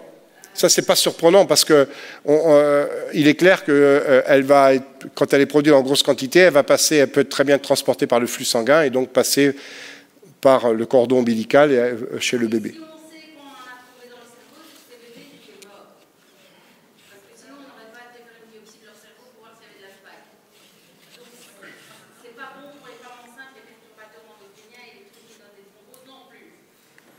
Alors, euh, Existe-t-il un mécanisme de transcription inverse de l'ARN vaccinal en ADN Alors euh, oui, ça a été montré, mais sur des cellules en culture. Il y a eu deux études qui l'ont montré. On nous disait que ce n'était pas possible. Moi, je disais, j'ai toujours dit, un ARN ne peut pas s'intégrer dans l'ADN, mais l'ARN vaccinal, pour qu'il s'intègre dans l'ADN, il faut qu'il soit converti en ADN. Donc, puisque l'ARN ne peut pas s'intégrer en tant que tel dans l'ADN. Donc, euh, ça veut dire qu'il faut qu'il y ait une transcription inverse de l'ARN. Alors, il se trouve que le virus euh, SARS-CoV-2 n'a pas de transcriptase inverse, ce n'est pas un rétrovirus. Mais euh, nous avons dans notre génome des vestiges de rétrovirus qu'on appelle des rétrotransposons, qui sont très nombreux. La plupart sont inactifs, sont totalement mutés et incapables de régénérer euh, une transcriptase inverse fonctionnelle, etc. Il y en a quelques-uns qui peuvent le faire. Il y en a un qui s'appelle notamment Line 1, et il a été montré que le rétrotransposon Line 1, qui est présent dans notre ADN, à nous les humains, eh bien, euh, est capable de euh, fabriquer une transcriptase inverse active, et il a été montré sur des cellules hépatiques en culture que l'ARN vaccinal pouvait être rétrotranscrit en ADN par ce vestige de rétrotransposon que nous avons dans notre ADN, qui a permis de fabriquer une transcriptase inverse, et l'ADN résultant de la reverse transcription de l'ARN vaccinal a été retrouvé intégré dans euh, l'ADN chromosomique hépatique, des cellules hépatiques en culture. Donc ça, euh, c'est donc théoriquement possible. Ça a été démontré. Enfin, c'est plus que théoriquement, c'est théoriquement possible, mais ça a été démontré. Maintenant, à quelle fréquence ça peut se produire chez les individus vaccinés, etc., c'est une autre affaire, mais c'est possible. Or, on nous a toujours dit que ce n'était pas possible voyez Moi, quand les étudiants me demandent, monsieur, est-ce que c'est possible? Moi, je leur dis jamais, c'est pas possible. J'ai toujours cette prudence-là. Parce que moi, quand j'étais étudiant, il y a des choses qui n'étaient pas possibles. Et puis quelques années plus tard, quand je suis devenu chercheur, eh ben, c'était possible. Alors euh, voilà, c'est comme quand on ne sait pas à quoi ça sert, on dit que ça sert à rien. Non, il faut avoir l'humilité de dire, ben, on ne sait pas. Voilà. Donc euh, prudence. Et là, c'est de toute façon possible. Dans quelles circonstances, quels sont les risques? Alors, dans quelles circonstances, je viens de l'expliquer. Les risques, bah, c'est si effectivement il y a une rétrotranscription en ADN et que l'ADN s'intègre, là où il va aller s'intégrer, bah, il peut très bien, en fonction de l'endroit où il va s'intégrer, ça peut très bien entraîner des dysfonctionnements d'un. Imaginez qu'il aille s'intégrer en plein milieu d'un gène, bah, ça peut faire dysfonctionner ce gène. Voilà. Donc, euh, euh, vous savez, dans la thérapie génique, c'est quelque chose qu'on a vu classiquement. Euh, dans la thérapie génique, on apporte de la. Euh, alors là, c'est pas de l'ARN, hein, c'est de l'ADN. Donc, euh, et, là, on veut qu'il s'intègre parce qu'on veut qu'il reste stable chez l'enfant qu'on essaie de soigner. Le problème, c'est qu'on maîtrise pas l'endroit où il va s'intégrer. Et dans un certain nombre d'enfants qu'on a voulu traiter pour des problèmes immunitaires euh, ils avaient une déficience immunitaire à cause d'un gène défaillant, hein, et comme les, précurseurs des cellules euh, immunitaires des globules blancs, c'est la moelle osseuse, ben, on a traité la moelle osseuse de ces enfants. Le problème, c'est que, euh, euh, c'est-à-dire qu'on a fait de la thérapie génique sur des cellules de moelle osseuse qu'on réimplante chez l'enfant. Le problème, c'est que le gène réparateur peut aller s'intégrer à des endroits qu'on ne maîtrise pas. Et dans un certain nombre d'enfants, il est allé s'intégrer dans ce qu'on appelle des oncogènes, des gènes de cancer.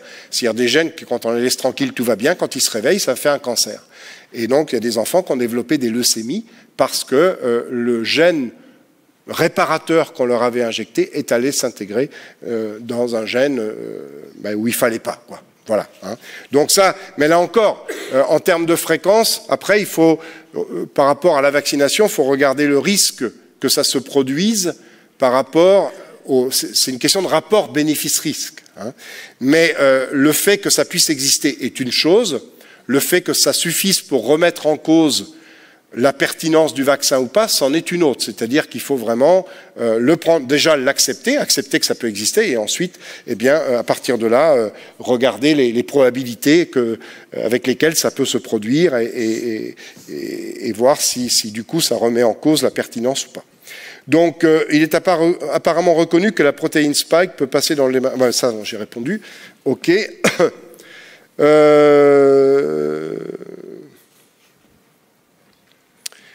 Euh, oui, alors euh, on me dit, euh, Monsieur Vélo, après toute votre démonstration, pensez-vous judicieux qu'à l'heure qu'il est, il faille encore utiliser le terme vaccin?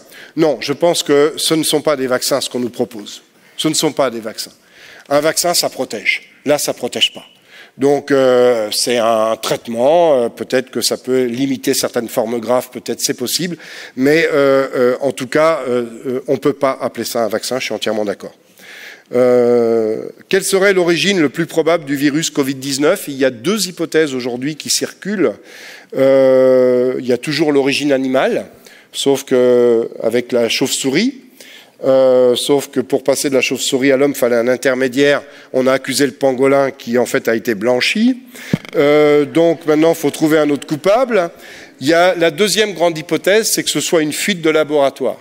Parce que euh, des virus, on en manipule dans les laboratoires pour faire des virus désarmés pour faire des, transporteurs de vaccins, pour faire des transporteurs d'immunothérapie, pour faire des transporteurs de thérapie génique, enfin d'ADN pour la thérapie génique. Donc euh, ça fait partie des outils. Et puis on utilise aussi des, des virus comme vecteur dans la recherche fondamentale. Donc ça fait partie euh, des outils qui sont couramment euh, euh, développés dans les laboratoires. Alors quand les laboratoires qui fabriquent des virus, c'est enfin qui fabriquent, qui modifient des virus, c'est minimum des laboratoires de niveau de confinement 3. Il y a quatre niveaux de confinement, 1, 2, 3, 4. 1, c'est le niveau le plus cool, si je puis dire, et 4, c'est le niveau le plus strict.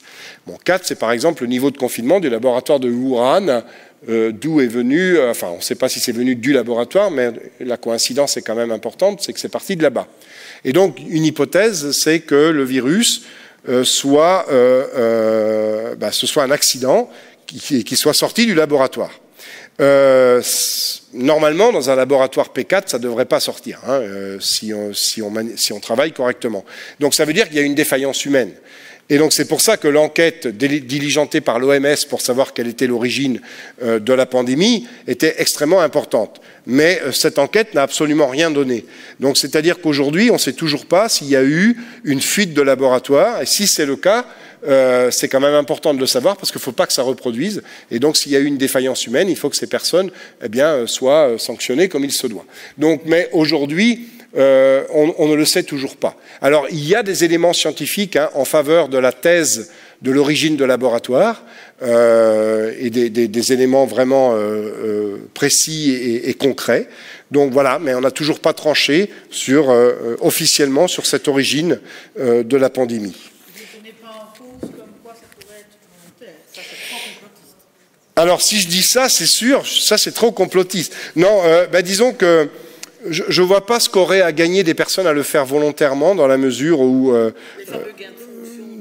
ouais, mais dans, la mesure où, euh, on, ne maîtrise pas qui peuvent être les cibles, quoi. Et donc euh, c'est l'arroseur arrosé.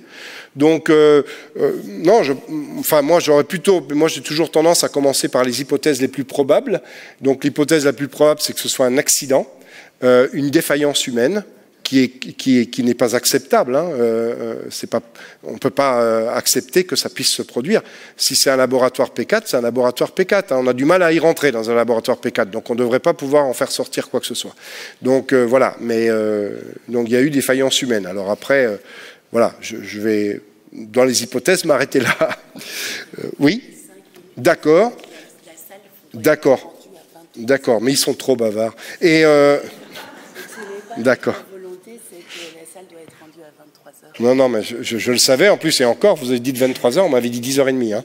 Donc, euh, alors, euh, après, il y a beaucoup de questions qui sont redondantes. Alors, je vais prendre, euh, je vais prendre par exemple ici, pourquoi conseiller ces vaccins aux personnes qui ont des comorbidités correspondant aux effets secondaires possibles? Alors, quand, on dit les personnes fragiles, c'est par exemple, c'est des personnes, alors évidemment, ça impliquerait de définir sérieusement la fragilité. Parce que si la personne est fragile parce qu'elle fait des AVC, je crois qu'il ne faut surtout pas lui donner, quoi. Hein, parce qu'avec les risques de vasoconstriction et de thrombose, évidemment, euh, ça paraît euh, complètement déconseillé. Par contre, si la personne est fragile parce qu'elle euh, a des, une fragilité pulmonaire importante, évidemment, si elle chope le Covid, ça va faire très mal. Hein. Ça va faire très mal. J'y suis passé alors que j'avais, j'ai aucun problème pulmonaire. D'ailleurs, j'ai tout récupéré. Le pneumologue euh, n'y croyait pas. Il m'a dit c'est vraiment que vous êtes euh, de bonne constitution. Donc ça veut dire que euh, quelqu'un qui aurait déjà les poumons fragiles, évidemment, là, on peut dire bah oui, cette personne, faut peut-être mieux éviter vraiment qu'elle chope le Covid, ou en tout cas qu'elle fasse une forme grave. Donc si ça peut limiter la forme grave, pourquoi pas, même si c'est une protection ponctuelle dans le temps. Hein, mais au moins, voilà. Mais je suis avec ça, bien sûr, ça dépend. Euh, il ne s'agit pas de dire ben, vous êtes fragile, eh bien on y va. Non, ça dépend de la nature de la fragilité. Et ça, malheureusement, ce n'est pas pris en compte. On dit toutes les personnes de plus de 65 ans et tout, mais il y a des personnes de plus de 65 ans qui sont plus en forme que d'autres de 40. Hein. Donc, euh, bon, voilà, je ne dis pas ça parce que je m'en rapproche. Donc, euh, voilà. 40, oui Justement, quand vous dites les personnes fragiles,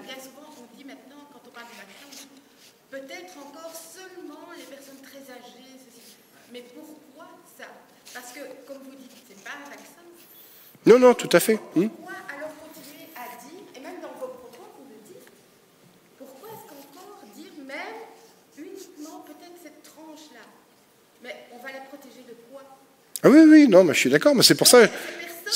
C'est pour ça que je. Ben, euh, moi, je pense que ce n'est pas une question d'âge, c'est une question de nature de fragilité.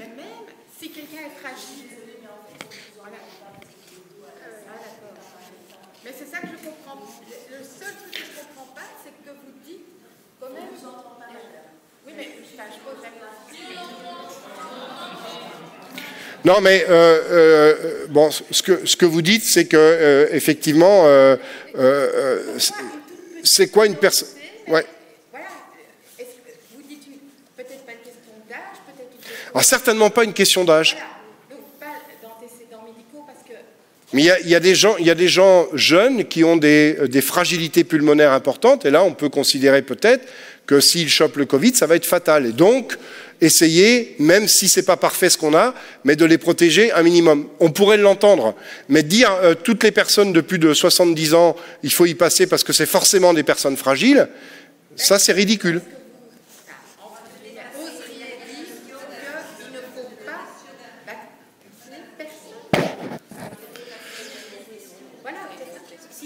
Oui. Oui, oui, peut-être. Oui, oui. Mais euh, voilà, bon. Euh, euh, dernière question alors ça c'est la même chose. Alors une question sur la, question peut-être. alors allez, j'en prends deux, mais une sur l'aspect politique et puis l'autre la dernière pour terminer ici. Euh, sur les euh, oui, il y a plusieurs questions de dire, mais pourquoi, pourquoi euh, avoir fait tout ça? Pourquoi vouloir absolument vendre du vaccin? Pourquoi? Bon, il est, il est clair que, alors ça, si on dit ça, hein, ça y est, on est le complotiste de service aussi, hein, mais c'est clair qu'il y y, y a des enjeux financiers dans cette histoire. Par exemple, pourquoi euh, Valneva, qui vient d'être autorisé, on ne peut pas l'avoir, parce que, mais il faut y couler du vaccin, du, Pfizer et du Moderna. Bon, euh, il y a forcément quelque chose de pas clair. Et d'ailleurs, au niveau de l'Europe, ils n'ont jamais eu de la transparence sur les contrats qui avaient été signés, etc., etc. Donc, il y a des tas de choses qui sont pas claires là-dessus. Et quand c'est flou, il y a un loup. Hein. Et euh, si on veut pas que les gens, un enfant aille voir derrière la porte, on lui dit pas, va pas voir derrière la porte. Hein. Donc, euh, euh, à partir du moment où on a le sentiment qu'on nous cache des choses, forcément qu'on a envie de soupçonner. Donc, euh, voilà. Et puis, il y a une dernière question ici. Pourquoi faire compliqué si, si simple Ça marche aussi? Euh, oui. Pourquoi ne pas travailler l'immunité naturelle des gens, respect euh, des règles de santé, nutrition Ça, je suis bien d'accord. Et je suis bien d'accord. Et ça, c'est la vraie prévention. Parce que vous savez, aujourd'hui, ce qu'on appelle la prévention, en fait, on n'a pas de ministère. Je terminerai là-dessus. On n'a pas de ministère de la santé. On a un ministère du soin. On est très bon en soins, mais la santé, c'est la prévention. Et aujourd'hui, qu'est-ce qu'on appelle prévention? Pour se dédouaner, vous savez, quand on vient de passer 50 ans, on reçoit un petit carton et on nous dit, c'est pas pour nous dire bon anniversaire, c'est pour nous dire bienvenue dans la seconde moitié. Donc, euh, c'est-à-dire faites caca sur le carton, puis on va vérifier si vous avez du sang dans les selles. Et ils appellent ça, ouais, ouais, moi, joyeux anniversaire. Et, euh, et ils appellent ça de la prévention. Mais ce n'est pas de la prévention, c'est de la détection précoce. La prévention, c'est faire en sorte qu'on n'ait pas de sang dans les selles. Voilà. Eh bien, la prévention, pour euh, être capable de lutter contre le Covid ou contre toutes sortes de maladies de ce style, c'est d'abord de renforcer son immunité, euh, etc., de euh, la vitamine D, enfin il y a plein de choses, et vous, certains d'entre vous le savent beaucoup mieux que moi, il y a plein d'alternatives, et, et, on se rend compte que beaucoup de gens sont immunodéprimés, qui sont fragiles parce qu'on a un environnement polluant, parce qu'on a une nourriture qui est euh, euh qui n'est pas suffisamment euh, de qualité nutritionnelle suffisante, etc. Et donc euh, on a une, une fragilité une fragilité euh, euh, intrinsèque euh, chez les individus, sans compter, comme je l'ai dit, tout notre environnement polluant, les perturbateurs endocriniens qui nous fragilisent, etc. Donc c'est par ce biais-là qu'il faut prendre le problème, c'est-à-dire renforcer la capacité des gens à affronter l'ennemi plutôt que d'attendre que l'ennemi soit là pour dire maintenant on va essayer de vous protéger avec un vaccin qui n'en est pas. Je vous remercie.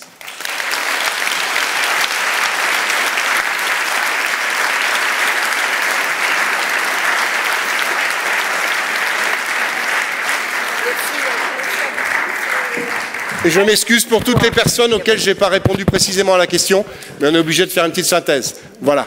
Merci à vous tous et à la prochaine fois. Nous, vous aurez le plaisir d'écouter euh, un duo, euh, Thomas Dassembourg et Louis Fouché. Et grand merci à Docteur Vélo pour nous avoir euh, tellement. Merci à vous tous. fait plaisir cette soirée. Oh, vous prenez et vous prenez les, les questions. Ouais, je peux toujours les prendre. Ouais, ouais. Ça peut peut-être. Euh, ouais. Le 29 novembre, il y aura une projection du film La face cachée, la face cachée des vaccins. Voilà, à Rixensart avec. Oui, oui, bah tu... Ah oui, d'accord. Ah. ah bah voilà. Donc le 29 novembre, il y aura euh, à Rixensart, au cinéma de Rixensart, une projection du film La face cachée des vaccins, avec comme invité euh, Dr Laurence Kaiser, le docteur Benoît Ox, et je pense encore même d'autres euh, médecins et témoins qui vont venir. L'idée de la projection, c'est vraiment que chacun puisse inviter une personne qu'il espère un peu convaincre ou qui se pose des questions, pas qu'on se retrouve tous entre nous, entre guillemets, euh, entre personnes déjà convaincues. C'est un très très bon film. Euh, on n'est pas dans les histoires de complotistes, etc. On est, on est vraiment dans le témoignage. On y voit beaucoup de gens qui ont pris une dose, deux doses, qui étaient très motivés, euh, et puis tout simplement qui font des, des, des témoignages de, ce qui s'est passé après. Donc voilà, ça c'est l'objectif. Euh, c'est l'objectif du, film. C'est le 29 novembre à 20h à, au cinéma de Rixensart. Voilà. Et sinon, je voulais le 29 novembre. Voilà. Et sinon, je voulais juste dire que euh, l'action, il y a une action en justice qui a été menée au tout début, en octobre 2020, par rapport au Covid, au, à la réglementation OGM, donc pour laquelle, euh, en fait, cette action pour laquelle euh, le euh, docteur Vélo, enfin Christian Vélo, a rédigé un rapport. Cette action avait pour objectif de contester le fait que le Parlement européen a tout simplement euh, donné carte blanche pour euh, les vaccins OGM, donc pour, balayer, mettre de côté complètement toute réglementation euh, OGM, donc qui normalement doit être prise en compte. Voilà, je termine, d'accord. Voilà. Et c'est juste pour vous dire que ces actions n'ont malheureusement pas abouti après tous les recours. On vient d'avoir le, voilà, on vient d'avoir. Euh, les dernières conclusions. Voilà. Et le motif, c'est que les citoyens européens et les associations ne sont pas recevables. Merci. Voilà, c'est moi le coup. On va, on va de coup d'État. D'accord, merci de nous avoir. J'ai prévenu, en fait, j'ai prévenu d'autres personnes, j'ai prévenu Christian Vélo.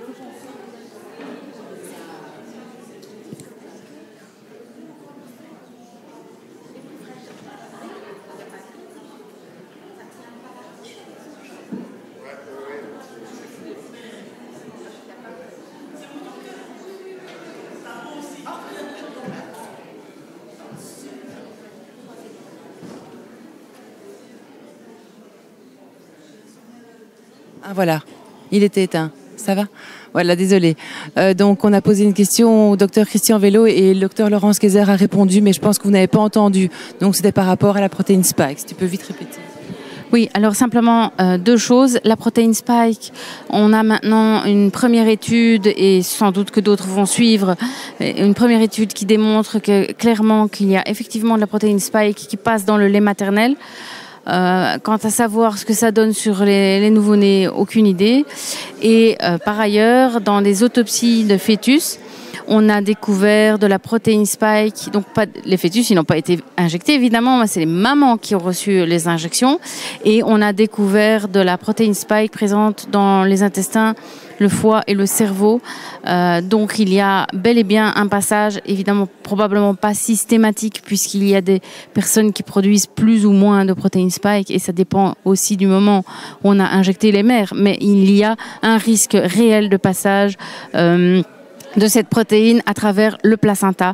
Et euh, une dernière chose que je n'ai pas dite non plus et, que je vais dire ici, j'ai maintenant des nouveau-nés qui sont particulièrement euh, et qui ont des édèmes de la face, euh, donc euh, sans explication. Alors ils sont pas testés, on ne sait pas doser les protéines spike parce qu'il n'y a aucun laboratoire qui a la technologie pour la, le faire en routine.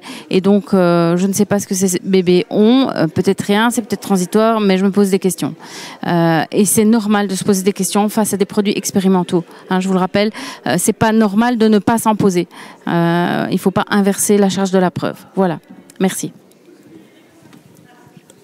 Voilà, on va vous laisser là parce qu'on doit quitter la salle. Donc, merci d'avoir suivi la conférence. Partagez et soutenez-nous. Bonne soirée, au revoir.